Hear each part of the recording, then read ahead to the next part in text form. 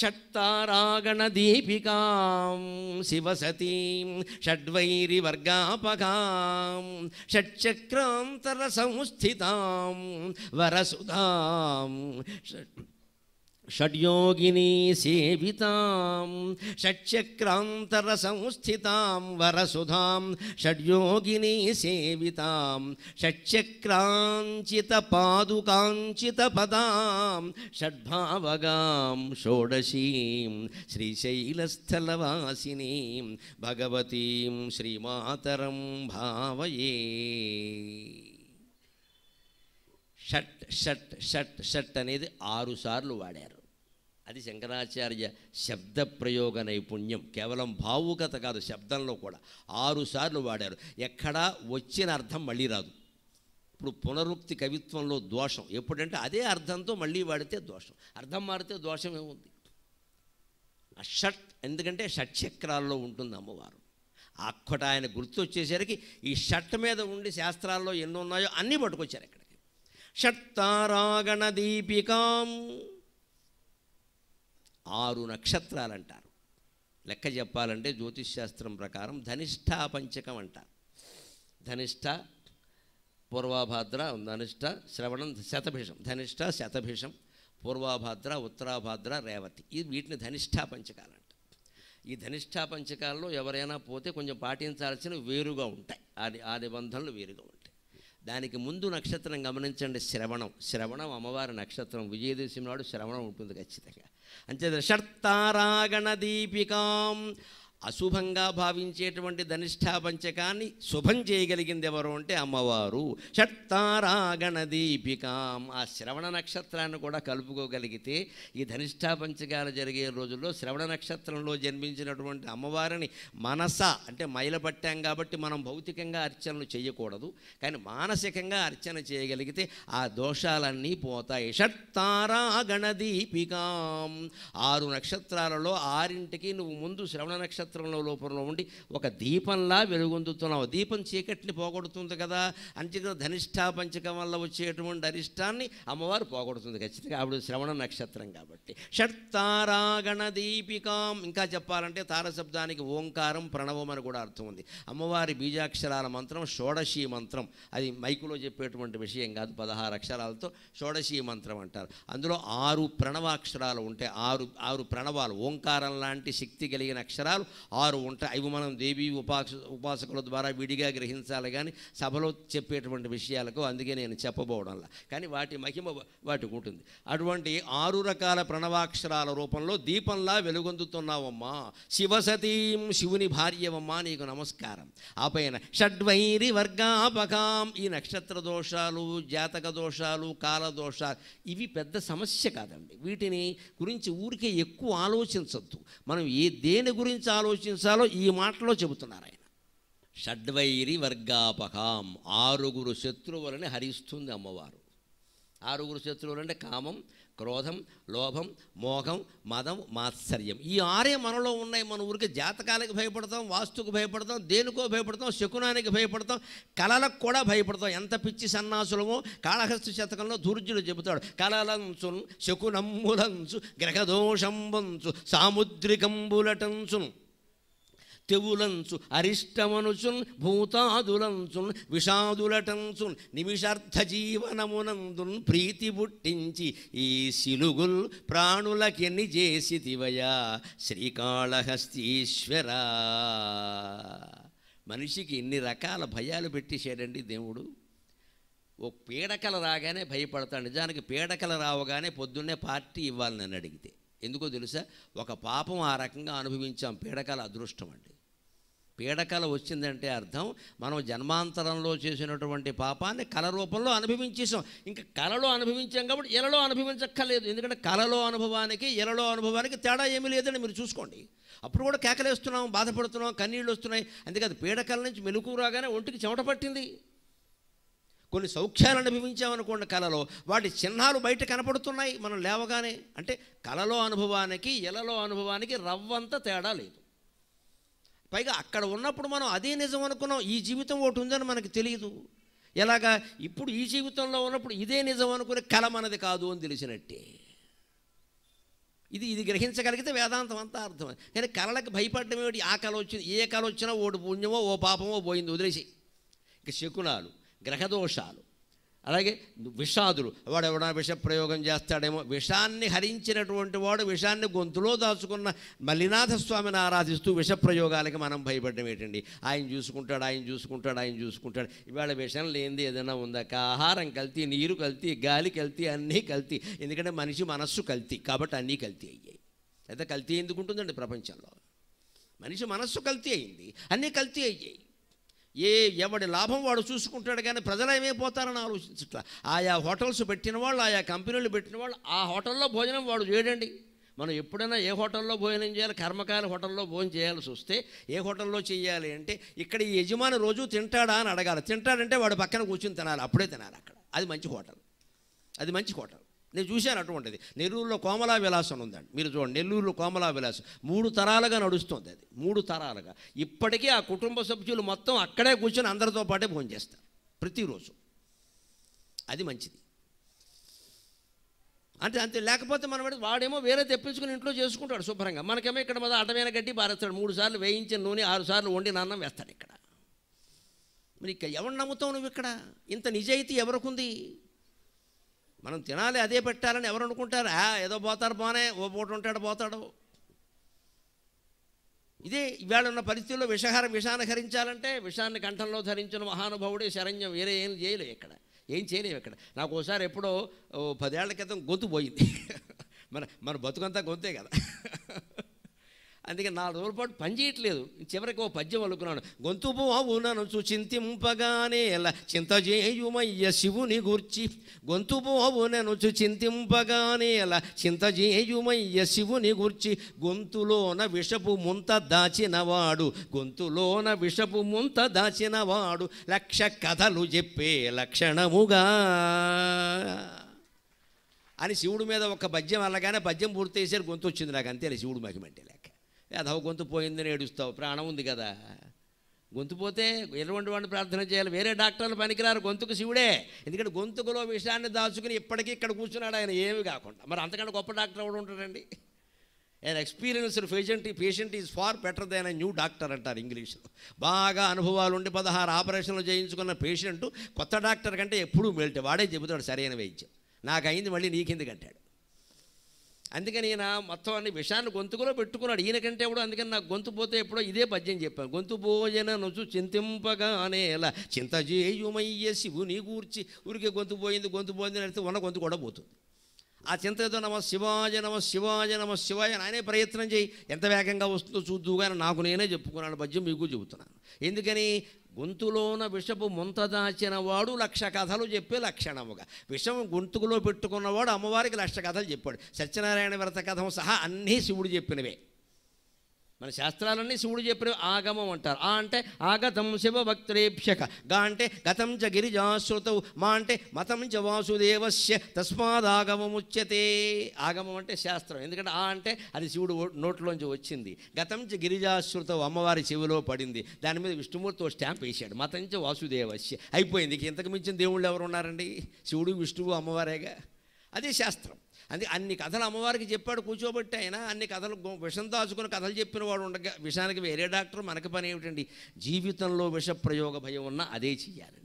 ఇలాగ నిమిషార్థ జీవనం ఇంత చేస్తే బతికేదేముందండి డెబ్భై ఏళ్ళు కూడా ఎవడు బతకట్లా. అందులో ముప్పై ఐదేళ్ళు నిద్రలో పోయింది. ఇంకో పదేళ్ళు కాలకృత్యాల్లో పోయింది. ఇంకో పదేళ్ళు అకాల కృత్యాలు అకార్యకరణాల్లో పోయింది. మనం గట్టిగా మనం అనుభవించిన సుఖాలన్నీ నిమిషాల ప్రకారం లెక్క పెడితే ఒక సంవత్సరం కూడా ఉండవమ్మా ఒక సంవత్సరం కూడా ఉండవు. ఇదే నిమిషార్థ జీవనం అంటే దీనికోసం ఎన్ని కొంపలు కూల్చేస్తున్నాం ఎంతమంది ఆస్తులు హరిస్తున్నాం ఎంతమంది బలహీన వర్గాల స్థలాలు ఆక్రమిస్తున్నాం ఎంతమందిని చిట్ ఫండ్ కంపెనీలు పెట్టి బోర్డు తిప్పేసి మోసం చేస్తున్నాం ఇదంతా దేనికోసం ఆలోచించుకుంటే మనిషి మనస్సులో పరివర్తన వస్తుంది. ఈ జీవుడు ఆవేదనంతా ఆ పరివర్తన కోసమే ఆ పరివర్తన కోసమే.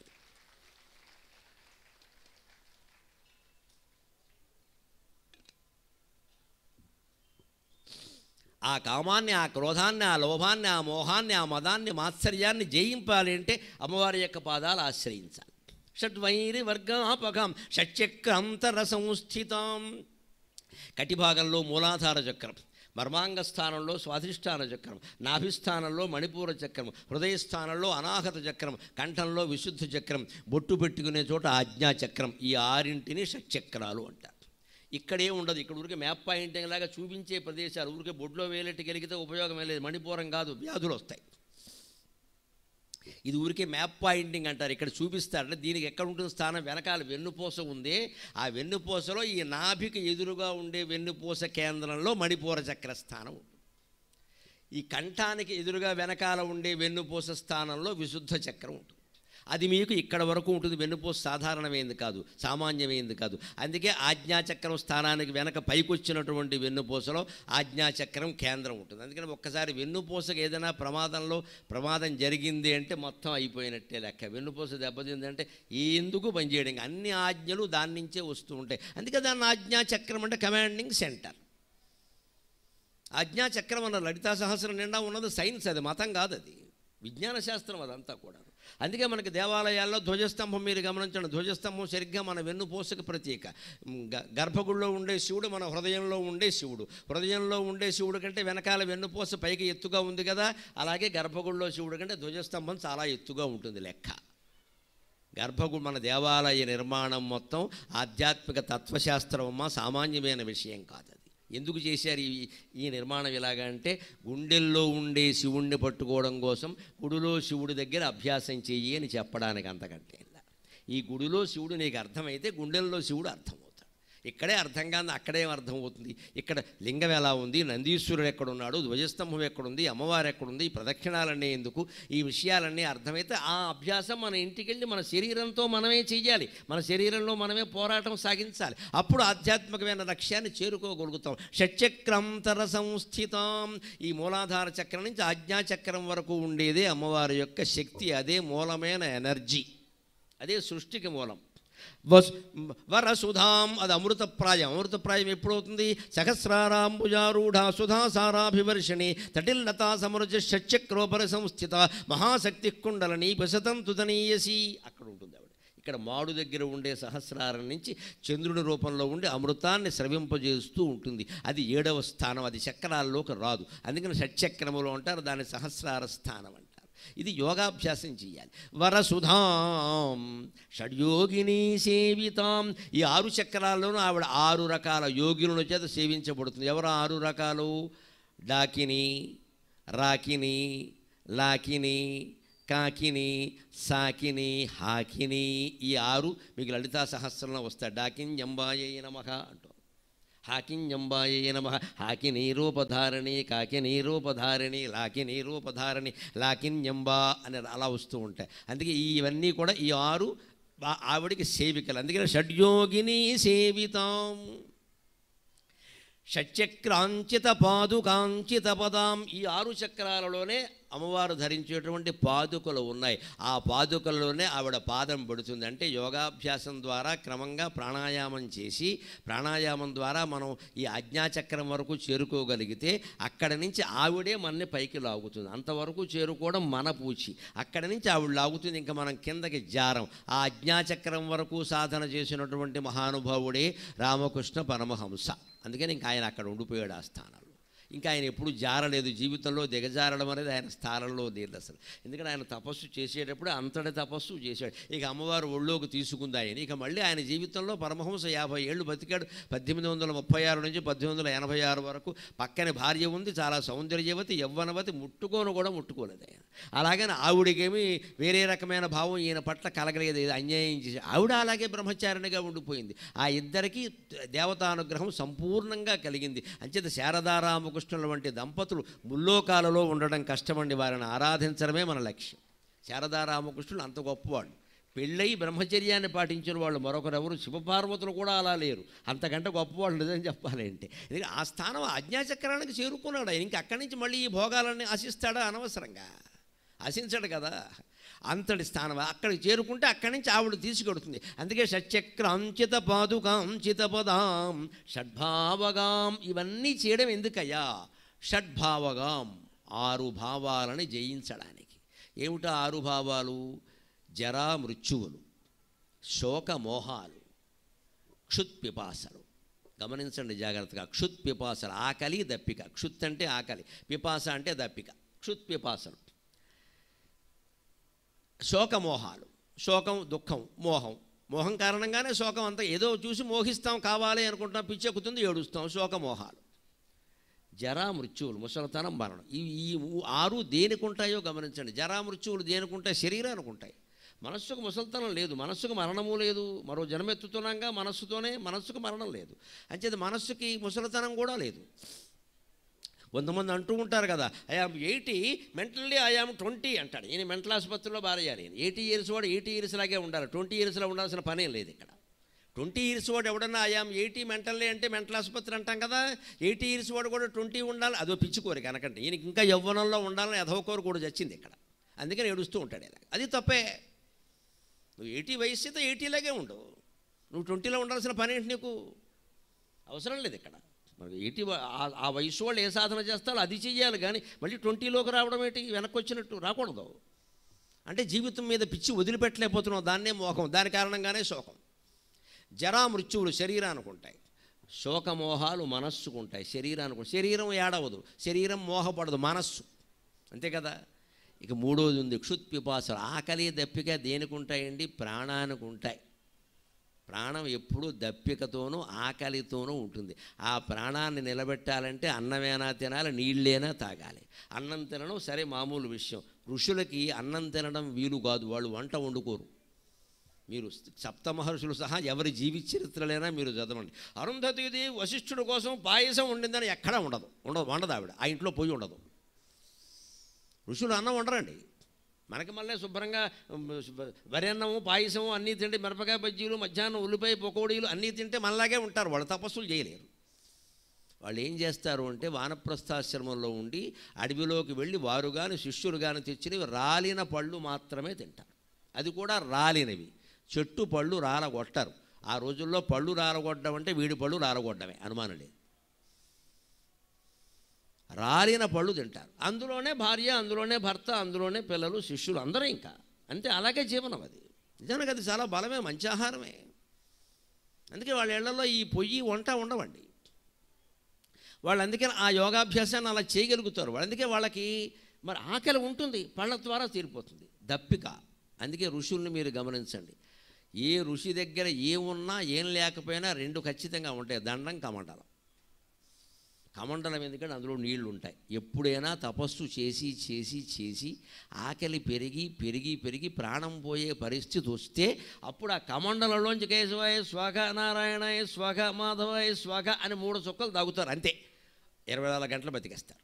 అందుకోసం కమండలం ఖచ్చితంగా ఉంటుంది. యోగదండం ఉంటుంది. ఎందుకంటే ఈ చంక కింద బోటు కింద పెట్టుకోవడానికి కాదు. కుక్క వస్తే కొట్టడానికి కాదు. దండం ఎందుకంటే ఛార్జింగ్ ది బ్యాటరీ. తపశ్శక్తి శరీరంలోకి వెడుతున్న కొద్దీ ఒక్కోసారి శరీరం పేలిపోతుందండి. తట్టుకోలేదు శరీరం. ఆ తపశ్శక్తిని దండంలోకి వాళ్ళు బదిలీ చేస్తారు ట్రాన్స్ఫర్ చేస్తారు. అందుకే వశిష్ఠ మహర్షి విశ్వామిత్రుడు రాజుగా ఉండి ఆశ్రమం మీద దాడి చేసినప్పుడు ఆయన ఏమి యుద్ధం చేయలే. ఆ దండాన్ని తీసుకెళ్ళి అక్కడ పాతి పెట్టాడు. అక్కడ పెట్టాడు. నువ్వు చూసుకో అన్నాడు.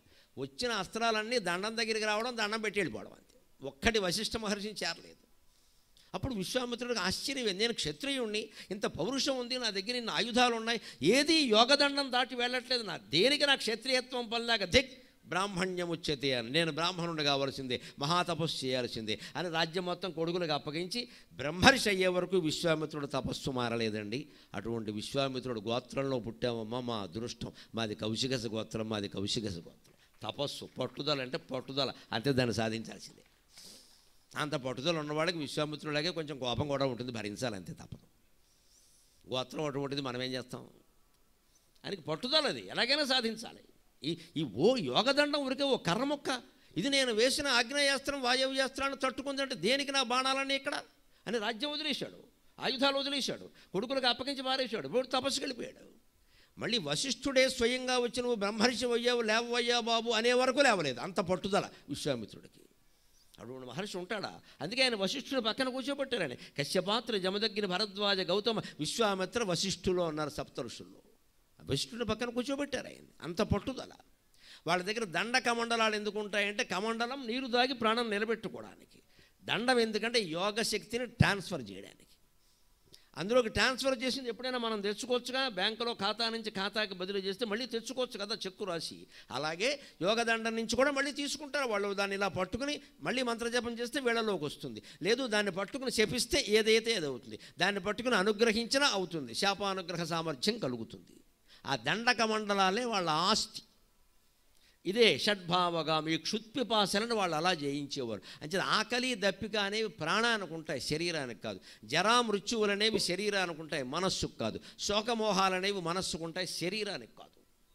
షడ్భావగాం ఈ ఆరు భావాలని జయించేది ఎవరయ్యా? షోడశీం పదహారు బీజాక్షరాల మంత్రంతో ఉన్న మన భ్రమరాంబికాదేవి మాత్రమే. శ్రీశైలస్థలవాసినీం భగవతీం శ్రీమాతరం భావయే.